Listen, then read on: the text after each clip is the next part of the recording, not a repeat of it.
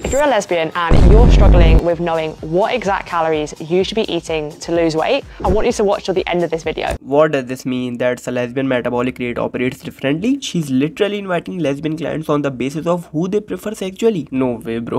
First of all, let me make it clear that there are only two genders on this earth, male and female, that's it. And secondly, the law of thermodynamics applies to all of them. If a person eats as many calories as they burn, their body weight won't change. If they eat more, they will gain weight. If if they burn more, they will lose weight. It's as simple as that. You don't need to be gay, non-gay, lesbian or identify as a rubber cock for it to work. I put together a short video explaining exactly how to go away and do that.